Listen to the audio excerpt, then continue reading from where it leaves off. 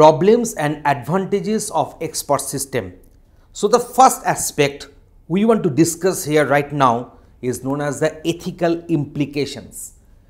Do you want to put a decision about your life in the hands of a computer?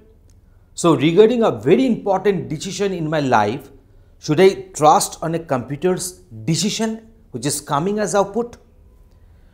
When do you think you would trust a computer's judgment over a doctor's? So let us suppose regarding one patient's treatment, a doctor's judgment is differing from the expert system's judgment. So which one to follow, which one to trust and which one to implement and carry forward. So at first we are going to discuss the problems with expert system. Unavailability of expert in the field. In a certain field, in a certain domain, sometimes it may happen that the respective expert system is not available.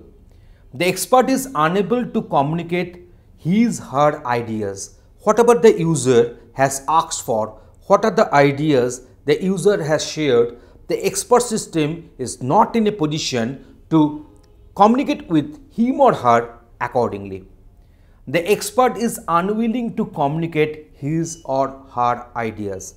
The expert system is not willing, the expert system is not in that respective phase so that it can communicate with the user with respect to the his or her ideas has shared. Must have all information on the subject. Sometimes expert system may have a very shallow knowledge base, may have a very shallow database not having crystal clear idea regarding the subject domain. In those cases, obviously, the inferences whatever the expert system will provide us may not be trustworthy. Can all the testing be accomplished? So that is a very vital question whether this expert system, whatever the required output you are getting, has it been tested thoroughly? The last one is the user acceptance. So these are the very major problems with the expert system. So now we are going for the advantages of expert system. First one is can be simple to use. Next one is efficient results, accurate results. So here we are judging that this expert system is having a good knowledge about the subject.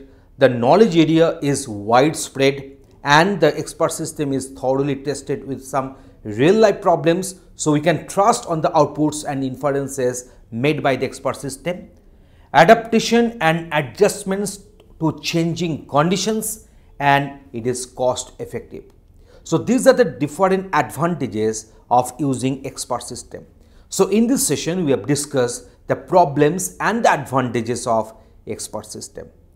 Thanks for watching this video